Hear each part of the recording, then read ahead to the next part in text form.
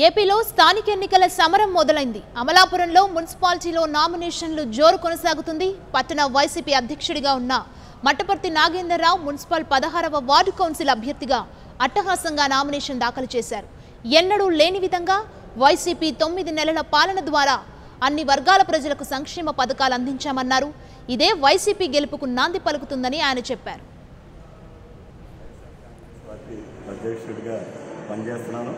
అలాగే నేను పదహారవ వార్డు నుంచి పార్టీ తరఫున ఈరోజు నామినేషన్ వేయడం జరిగింది.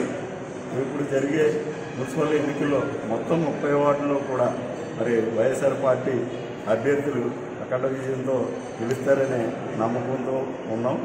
ఎందుకంటే మా ముఖ్యమంత్రి జగన్మోహన్ రెడ్డి గారు పెట్టిన సంక్షేమ పథకాలు ద్వారా ప్రతి సామాజిక అన్ని సామాజిక వర్గం నుంచి కూడా మనకు ఉపయోగపడే పథకాలు పెట్టడం జరిగింది. అంతేకాకుండా మా మంత్రి గారైన పెనిపేవి విశ్వరూప్ గారు మరి ఈ నియోజకవర్గంలో గతంలో మంత్రిగా చేశారు.